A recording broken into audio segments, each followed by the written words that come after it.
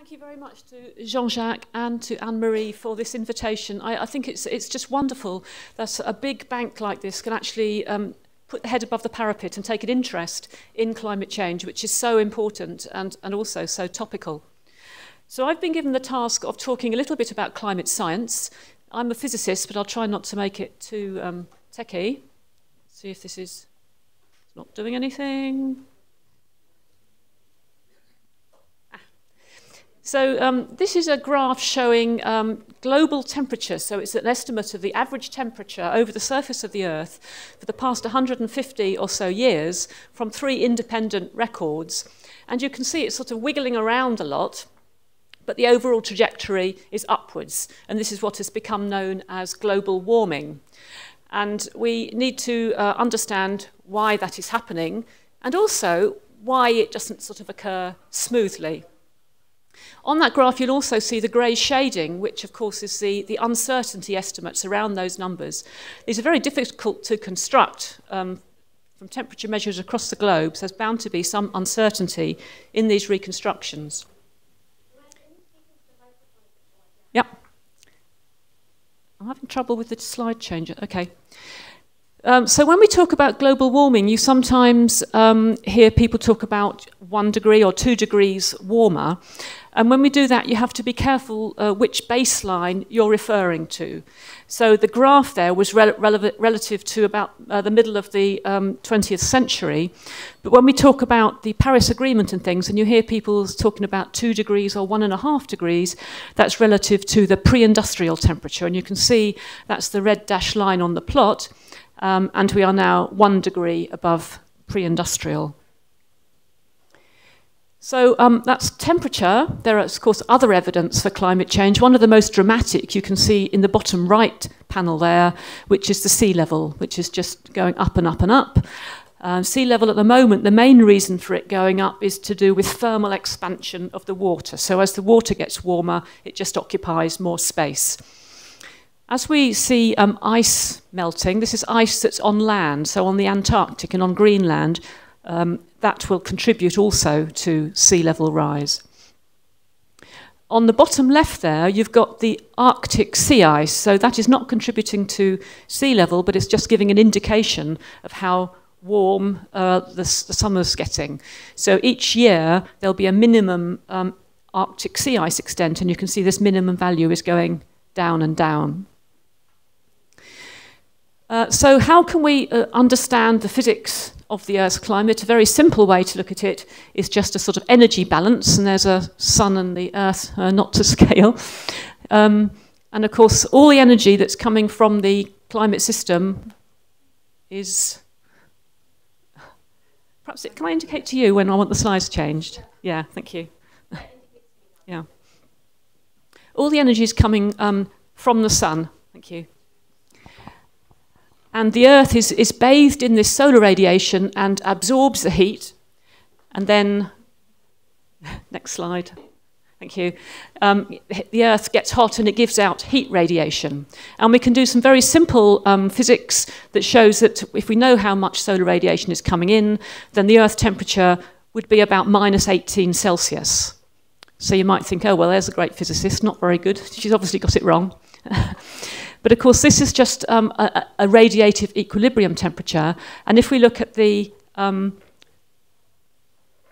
uh, thank you, um, the energy budget, we have the same amount of absorbed solar radiation coming in as heat radiation going out, but there's all sorts of complex things going on within the actual atmosphere itself and the oceans.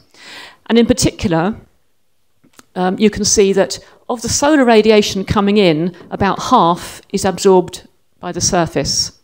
And the surface gets hot and it emits heat radiation, but about 90% of that, that heat radiation is the paler colour on the right, about 90% of that is actually absorbed by the atmosphere.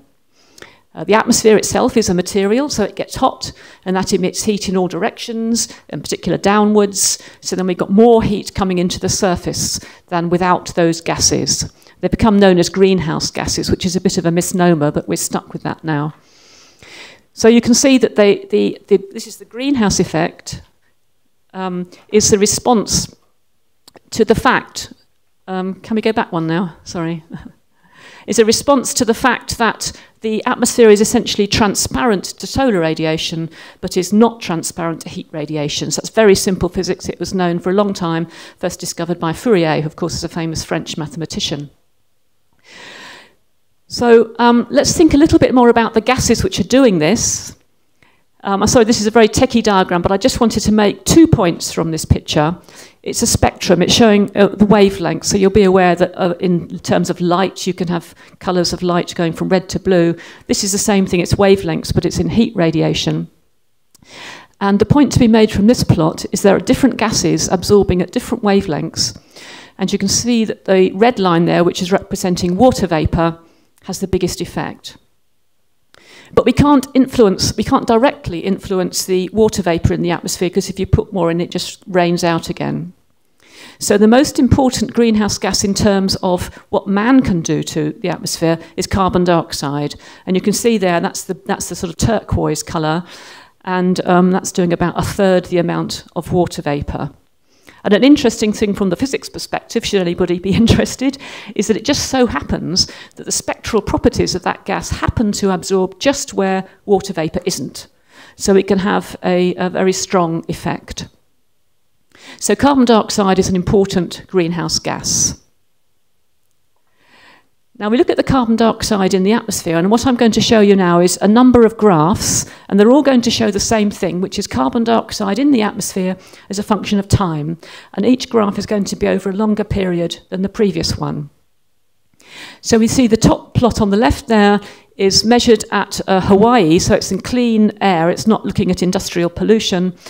Uh, you can see the red curve with a sort of annual cycle, which is reflecting the growth and decay of plants as they absorb and emit CO2, but it's an un unremitting upward trend over that 25-year um, period. 15-year period, sorry. Um, then the bottom left one is the same thing, but over a longer period, 50 years. And you can see it's gone up from 1960, about 320 parts per million, to the sort of 400, which is sort of what we've just hit parts per million um, now. Then we've got three more graphs in the middle. Each of them is over a longer period. The plot at the top is exactly the same data as the bottom left one, but with a different vertical scale. And most of the plots I'm going to show you now have the same vertical scale going from 180 to 380. So you'll see um, that's over the past uh, 50 years, then we've got over the past 1,000 years, and it's fairly constant at 280 until it goes up right at the end there. Then we've got over 10,000 years at the bottom there, completely flat. If we look at the top right one now, that's now going over hundreds of thousands of years. It's going up and down with the ice ages, and I'll come back to that again in a minute, but it's never gone above about 300 of these units. The next one below is um, millions, 10 million years, 20 million years, still hasn't gone above uh, the value it is now. You have to go to a very long time ago. If you look at the bottom right panel there, which is now looking um, hundreds of millions of years into the past, and it's much, much, much higher.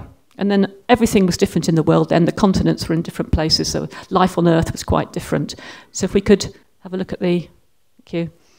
Uh, the first primates on Earth didn't appear until a few, say, 60 million years ago. The first Homo species not till a few million years ago.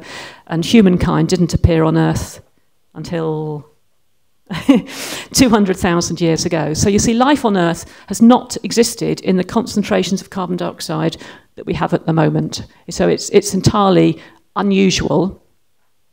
It's also um, not natural, and we know that by, by carbon dating the carbon in, in the air, and you can look and see that it's old. It's old because it's from fossil fuels that have been burnt and put into the atmosphere. So we've got much more carbon dioxide than we've ever had before. It's very unusual. So talking about ice ages, here's a plot. The carbon dioxide one is the one I just showed you. Below is temperature over the same time, and you can see they look very similar. And you sometimes hear people say, oh, look, uh, we've had it all before. Temperature's gone up, carbon dioxide's gone up, it's all natural. Um, so what are you lot making a fuss about? Um, the issue here is that the temperature is changing um, in response to changes in the Earth's orbit around the Sun. So the ellipticity of the orbit is changing. That tends to give it a bit of a warmer push. then that uh, results in carbon dioxide and methane being released from natural stores on the Earth, which then makes it warmer, and you get this sort of positive effect, uh, so that the little bit of warming due to the sun is then enhanced by the, uh, the greenhouse gases. So um, it's initiated by the Earth's orbit and amplified by CO2 and methane. Um, so this is, this is perfectly natural. Uh, the two important things to note is that the CO2 is never above 300 there, and now we're at 400. And secondly, that although you couldn't see it on this graph because the temperature, the time range is so condensed, the current rate of temperature increase is about 10 times faster than that steep slope on the right. So it's unusual what we're in at the moment. I'm afraid this is a bit of a messy plot, but I wanted to show it because it's just considering um, the factors which have influenced climate change since 1750. So we have the energy balance. Anything that's going to affect the energy balance is going to affect the climate. That's the temperature record we're trying to explain. And on the right, we've got various different things that are going into the atmosphere that cause, that cause it to change. So the, the nasty grey colour is the carbon dioxide. Then you've got other greenhouse gases adding on top. You've got a tiny little yellow wiggle on the top there, which is changes in the sun. And then you've got a few factors that are causing it to cool, which are generally particulates getting up into the atmosphere from industry and also from land use changes and agricultural practices, which reflect sunshine back to space, so actually cooling the planet. And then you've got these spikes, which are volcanoes. So um, volcanoes put stuff into the atmosphere and, and reflect the sunshine to space as well. So that's perfectly natural, of course.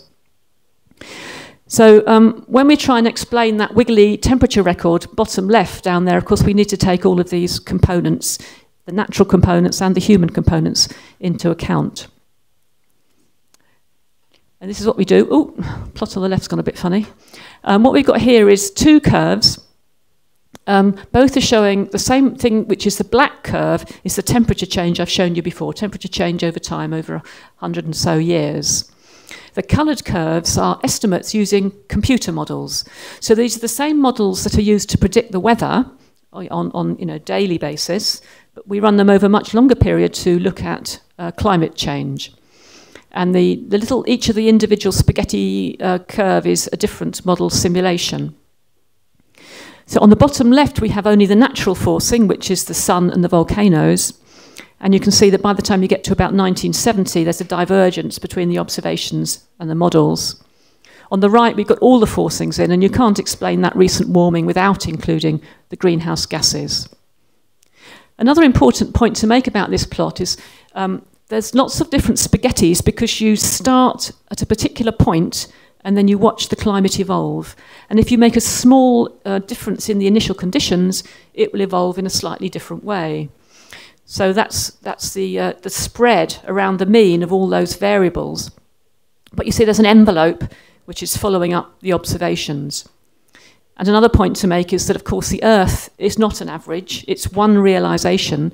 It's one of those spaghettis, or perhaps none of those spaghettis, but it's doing a wiggle. So it's not surprising that it's wiggling. It's just a, a very complex um, situation, that, that's a natural environment. Now, we talk about global warming, but of course it's not the same all over the globe, and in fact it's, it's very variable. You can see the places that have been warmed the most are continent, mainly continental areas, and there's some places that have warmed hardly at all, and indeed it looks like the North Atlantic has possibly even been cooling slightly, or certainly not warming very much. And that's a very interesting challenge to explain that for the climate scientists, and we think it's something to do with changes in the ocean circulation. So you can see over, overall, we have much larger warming in some places, over two degrees over continental Asia and South America, and less in other places. So the impacts will be different across the world too. Thank you. So if we're going to try and predict what happens in the future, of course, we have to um, predict what the CO2 is going to be like. And this means predicting the economy and energy use, which is impossible for me, and I think probably more difficult than predicting the climate. And so there's various different, um, what's it called, uh, representative pathways that are, are, used to look at different, uh, different scenarios. And the bottom uh, on the left there is um, looking at these different scenarios in terms of the components of the energy use. So black is coal and orange is oil, etc. And there's these four different scenarios. And the two graphs then are CO2 emissions. So if you use those energy pathways, what emissions do you get as a function of time? And then the right hand panel is the concentrations. And the emissions and the concentrations don't give the same graph because the uh, carbon dioxide is very, has a very long lifetime. Once you've got it in the air, it'll stay there about 200 years. So with that blue curve, which is the worst one, it's sort of flattening off by about 2100, but the concentrations are still shooting upwards because it's not, it's not, um, it, it's just up there and it's staying up there. So even if you uh, get the green one, which is the best one, and it, you've got emissions going to net zero by 2080, you still haven't got back to current day CO2 concentrations by the end of the century. So this is um, the future of the surf global surface temperature under the worst and the best scenarios there. This again is relative to um, just about 2000, so you have to add on about a half a degree to, um, to that to get the relative to pre-industrial. And you can see with the, um, the, the, better of the, of, the of the ones, it's going to be about um, one and a half or two degrees. And with the worst, it's now up about five degrees global warming, which is really severe. This is a very important point. I've written it in text to make the point more strongly. If you carry on adding CO2 to the atmosphere, the Earth will carry on warming. That's just the state of the things. If you want to stop the world warming, you've got to stop emitting CO2. Absolutely stop it. You can't just say, I'm going to do less. So, um, of course, stopping it completely is going to be quite difficult.